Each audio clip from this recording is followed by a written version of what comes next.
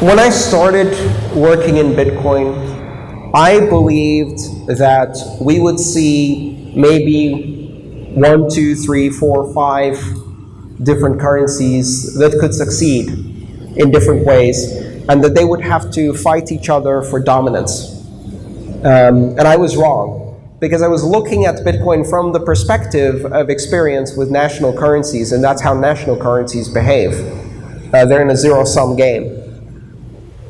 Once I saw that more altcoins were being created and they acted as a laboratory, I realized the connections between money and language and why, just like there are hundreds of thousands of human languages, there will be hundreds of thousands of alternative currencies and chains, and then perhaps millions.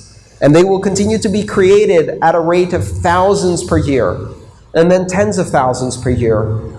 And maybe most of them will not have very significant economic value. Maybe some of them will only have um, the value of reputation or loyalty or popularity or historical significance, or they'll explore a single narrow feature or capability.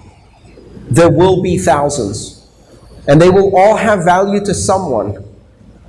Because even five year olds create currencies. If you watch a kindergarten, they create currencies out of rubber bands and colored blocks and crayons. They trade tokens of value with each other to express popularity and friendship. So human beings create currencies. It's a natural process. It's an evolutionary imperative. So we will create thousands of them. And they may not have the same interest or value, but they will be powerful. You know, I say sometimes, people think it's funny, but imagine what happens when you have Justin Bieber coin. Now, for one thing, that's a horrifying idea. Justin Bieber coin. But at the same time, if that was created today, it would very quickly have more value than at least 15 national currencies. Easily. Right? And so, is that money?